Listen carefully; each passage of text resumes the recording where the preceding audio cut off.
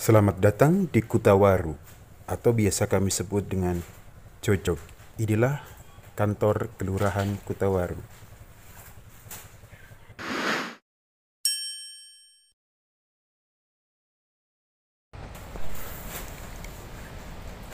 Ini adalah Kapura. Selamat datang di Kelurahan Kutawaru. Ini pos pengawasan angkutan penyeberangan di dermaga Kutawaru. Ini loket pos penyeberangan, loket pembayaran apabila kita mau menyeberang dari dermaga Kutawaru ke kota atau Cilacap kota. Itu bisa melalui dermaga ini, dermaga atau tambatan Kutawaru.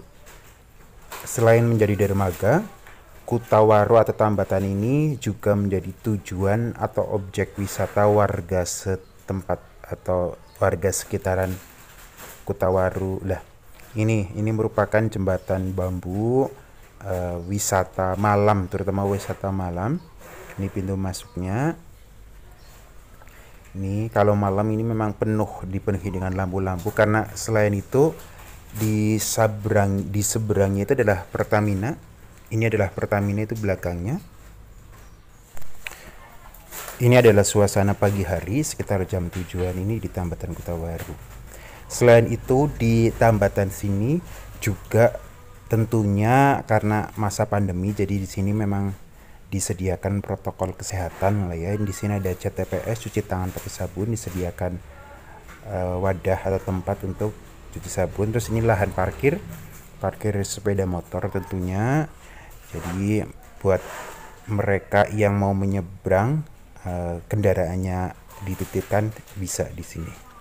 Ini tambatan Kutawaru. Terus ini juga beberapa spot untuk kita bisa langsung melihat Pertamina dari dekat karena memang jaraknya hanya beberapa meter saja dari tempat saya berdiri ke Pertamina itu hanya beberapa meter saja gitu.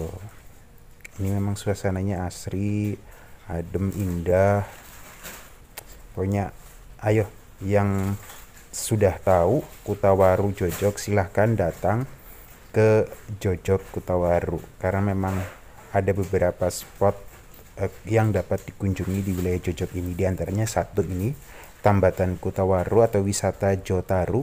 Hmm, ini wisata malamnya sih lebih ke malam. Terus ada lagi di daerah Kutawaru atau Jojok itu ada GTK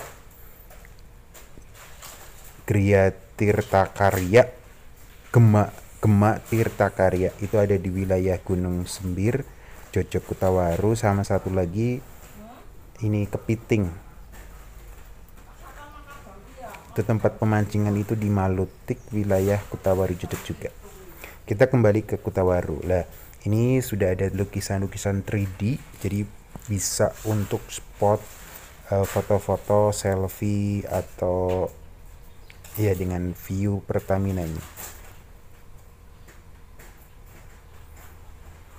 gitu ini ini adalah ini spot-spot yang malam tadi uh, jembatan bambu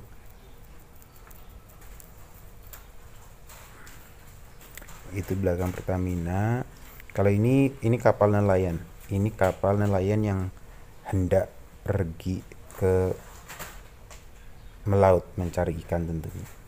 Ini ada kapal untuk penyeberangan. Ini gazebo. Ini kalau malam ramai. Ini uh, tempat makan.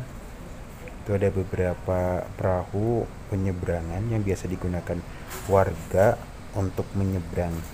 Itu. Ini di sini juga tarifnya sama sekitar 3000 3000 untuk orang dan motor 3500 jadi 6500 untuk satu orang dan juga satu motor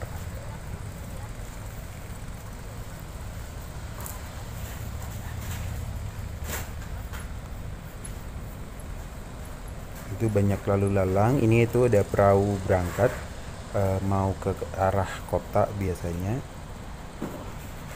Memang ramai banget. Kalau malam ramai. Lebih-lebih malam minggu.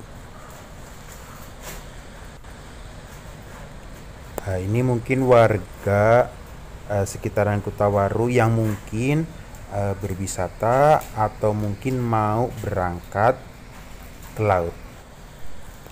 Terima kasih sudah menonton.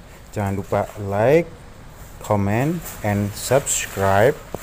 Terima kasih. Wassalamualaikum warahmatullahi wabarakatuh. Barakallah.